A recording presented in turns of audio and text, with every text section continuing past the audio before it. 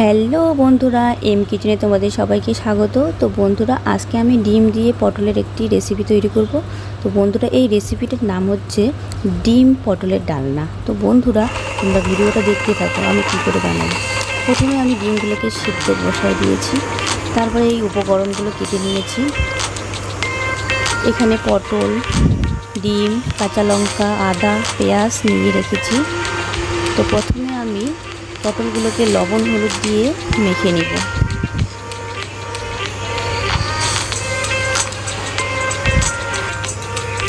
এরপর কড়া আমি উনানের মধ্যে বসাই দিয়েছি। কড়া গরম হয়ে গেলে এখানে আমি অ্যাড করলাম সরিষার তেল। তো তেল গরম হয়ে গেছে, এখন আমি এখানে পটলগুলো ছাড়বো এবং ভেজে তুলে নিব।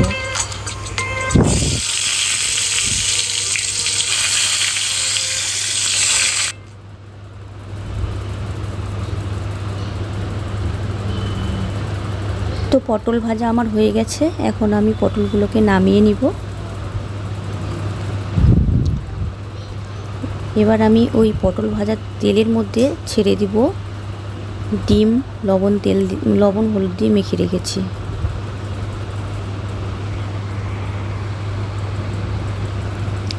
তো ডিমগুলো আমার ভাজা হয়ে গেছে এগুলো নামিয়ে নিব।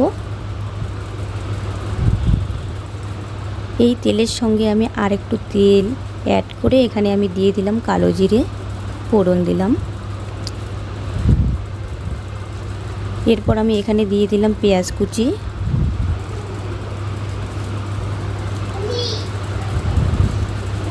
পেঁয়াজ কুচিগুলো আমি এখানে বাদামি করে ভেজে নিব। এখানে অ্যাড করলাম সামান্য পরিমাণে চিনি। তো পেঁয়াজ আমার বাদামি কালার ভাজা হয়ে গেছে।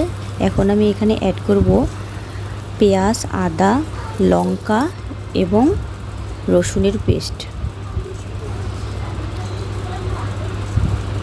তো এটা আমি ভালো করে ভেজে নিব।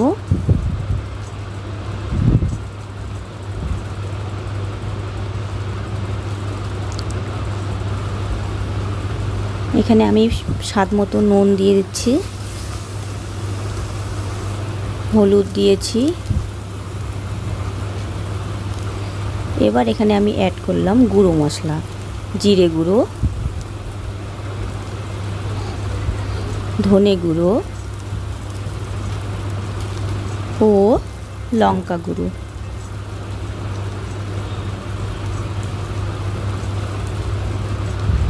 এটাকে আমি আরও কিছুক্ষণ ভেজে নিব। মোটামুটি দু মিনিটের মতো। তো আমার ভাজা হয়ে গেছে প্রায় দু মিনিট। এখন আমি এখানে ভেজে রাখা পটলগুলো ছেড়ে দিব।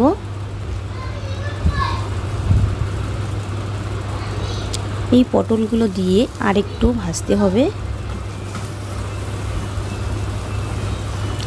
অল্প ভাজতে হবে, বেশিক্ষণ ভাজতে লাগবে না।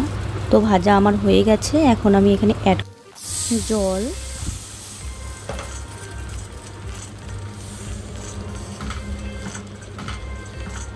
জল দিয়ে এইভাবে একটু নাড়িয়ে নিতে হবে।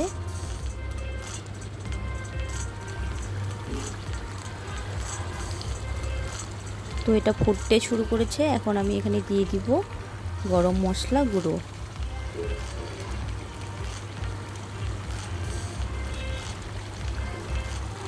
গরম মশলা দিয়ে দিলাম, এখন আমি এখানে অ্যাড করব আগে থেকে ভেজে রাখা ডিম।